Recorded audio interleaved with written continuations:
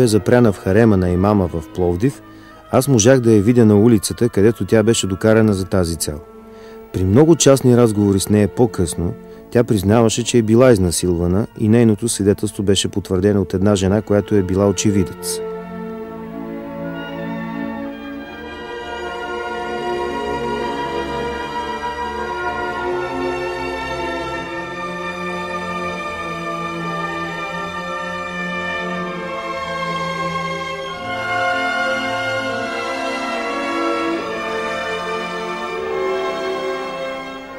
Турците, които са най-виновни за кланетата, за зверствата и заслужават най-сурово наказание, са следните.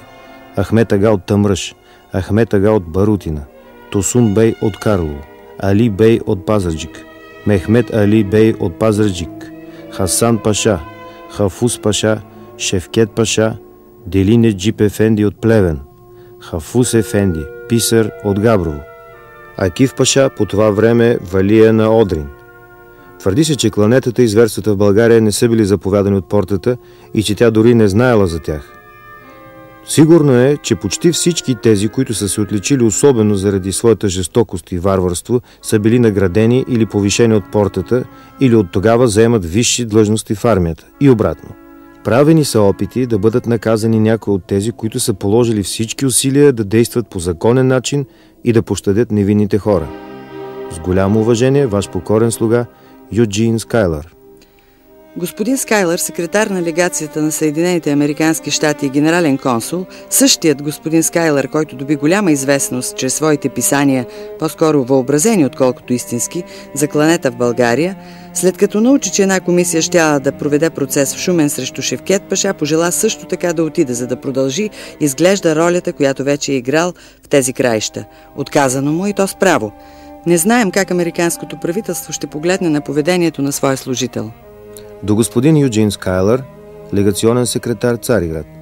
Сър Аристар Хибей, турски посланник в нашата столица, представи по указание на своето правителство оплакване, че вие в качеството си на легационен секретар сте публикували доклади относно политическото положение на страната, в която изпълнявате функции. Аз се надявам, че съм бил прав в моето доверие към вашето благоразумие – когато се осмелих да изразя мнението, че вие сте били погрешно разбран.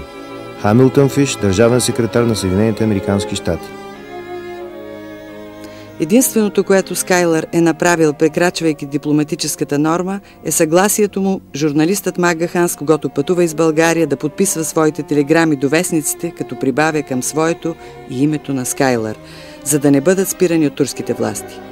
След видяното и преживяното в България за хуманиста Скайлър няма по-висока норма и по-голям морал от това да помогне истината за потъпканите човешки права и човешко достоинство в България да станат достояние на света.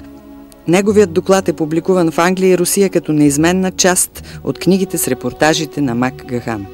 Посланникът Мейнард пише на държавния секретар Фиш във Вашингтон – ако не се положат спешни грижи за хилядите голи и бездомни българи, много от тях ще загинат от зимните студове на Балканите.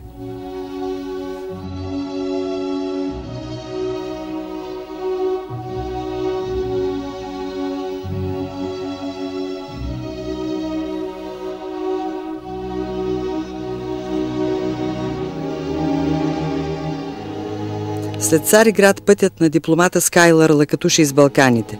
Пълномощен министр в Гърция, Сърбия, Румъния, по-късно генерален консул в Кайро.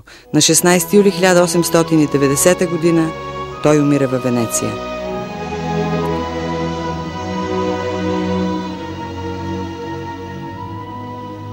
За Съединените щати делото му може би е малко и незначително. То не е попътно на големите събития от американската история –